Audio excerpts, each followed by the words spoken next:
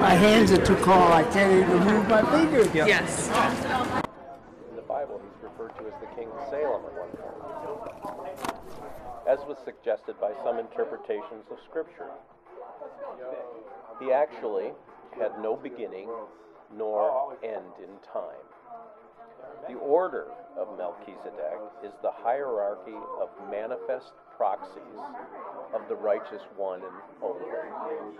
There is no one person of that name, never was, is now, or ever will be, forever and ever. So that Melchizedek, the order of Melchizedek, is really referring to people who reach a certain level of enlightenment or awareness where they feel identified with God.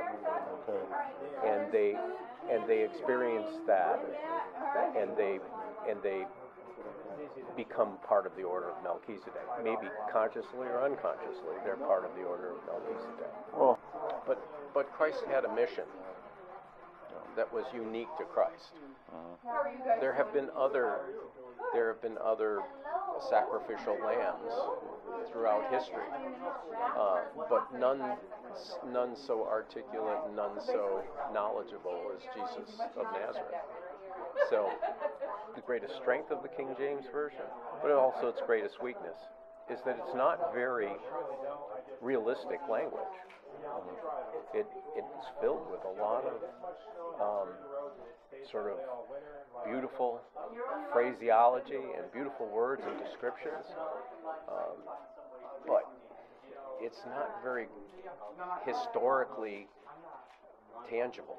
I mean, the, obviously the scrolls and the things that that um, the Jews have access to and have always had access to are far more realistic portrayals of, of the story.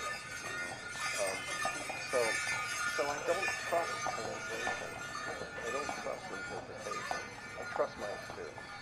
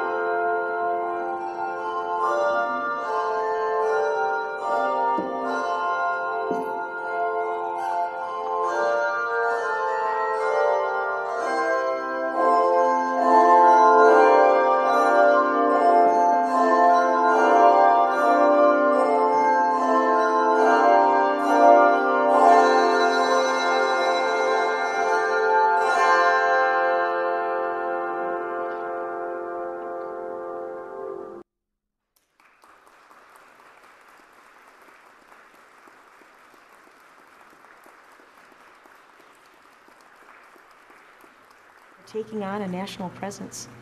And everyone that sees these faces, they want, they want them. They want them in their community. And uh, thank you so much for stopping by tonight to take a look. Appreciate this. Appreciate you taking an interest in my students' stellar work. I'm proud of them, so proud. So, Stephen, I'm so glad you stopped by tonight. Um, I'm Professor Evans from SUNY Broome, and these are my beginning drawing students. This is a uh, five part, uh, three year uh, project, and the students choose marginalized and overlooked people every semester, and they learn how to draw the faces based on archival photos and text. And the theme of this entire project is to show more kindness and compassion towards those that are different than you. And it's also another uh, idea here is that uh, to have meaningful work impacts not only you, but it impacts the community. The first uh, set of faces that we did, we did women suffragists. The second set, we did Holocaust survivors and non survivors. And then we did the Underground Railroad. This semester, the students are doing war veterans. Next semester, they will do Native Americans. And in March of 2019, we will have a best of the best series of faces on the SUNY Broome campus where I, I will choose six of the very best and put them in one room. And my hope is to invite all my students that drew these, drew these faces and to have my students stand by their easels and explain to the people that are visiting how they drew these faces you know, forming content. Through the form, there's some content that's profound that can change people's lives. I teach them structure first, and, and they do the structure in outlines, lines. And I tell them that once you've got the expression on the face, just by line, just because line direction is very, very important, then you're good. You're good to go. You can go on to the next step because there's two steps in drawing, and that is the structure and then the decoration of the structure. East Berlin, West Berlin this past summer 17, 2017, that's when I decided that was going to be the next category of faces, the Holocaust. But when I went into that mausoleum, they, the faces were larger than life. And I, I guess it was just through osmosis that I, it, it just continued on through because you walk into a space where these faces are this big and they're all lit up in a dark area. Well, let's see. What I do is very much celebration of pop art. It's very much a celebration of the narrative arts. Uh, there's things that people don't necessarily think of as artistic. Comic books are seen as kids stuff. Video games, they don't think they don't realize the amount of art that goes into these things that people consume in huge numbers but they're not the type of things that are necessarily celebrated in gatherings. Uh, they are a bit in some bigger cities, LA, New York, but you know, small towns or cities, or Binghamton, for example, or most of the country, they don't see it as art. But I've always thought like comic artists are some of the best illustrators in the business, and people who design the concept behind video games and films are incredible. So I like to celebrate narrative arts. I like every time I change, it's with a different company. I've worked with Lucasfilm, I've worked with Nintendo, Crayola, Nickelodeon, NBC, Universal. I've done pieces with 20th Century Fox. I've done pieces for anime companies like Viz Media, Aniplex, Crunchyroll, but it's always on individual freelance basis. So they, you know, I've worked with them several times, but I come back and go, and it's never, I'm not doing anything with them under a regular, steady uh, contract. So I, will have non-disclosure agreements. I can't talk about the work before I do it, but once I do it, it's done. There's nothing like that. I'm allowed to, you know, display and continue on afterwards. I appear at a lot of conventions, and right now I'm working on uh, a series of appearances for next year. The things contracting already out in May, June, etc. I'm also working on like a long form story that's completely my own, but that's nowhere near ready to talk about or show anything of yet. It's still in the planning stages, but hopefully sometime late next year I'm unveiling that. So I've already got projects in the work, but a lot of what happens starts to surprise me. Sometimes I'll get a company contacting out of the blue. It'll be, yeah, in a month and a half, we need you to come and do a giant piece for us at a convention or a show. And it's, a lot of times it happens short notice. So like a mural sized poster? I'll do these, most of the chalk pieces at my show are performed live, like at New York Comic Con, San Diego Comic Con, stuff like that. And they're, on average nine feet wide by 13 feet tall, and take about 30 hours to complete from start to finish. So it's all done live at the show, I know, but it's a transient thing. But if somebody took a really good picture of it, they could do a mural on their wall. That's my that's my gallery. Interesting Yeah. abilities of the modern. Oh, absolutely. Yeah, and that's how my pieces live on. That's how I'm able to have a gallery show is prints and images of my work.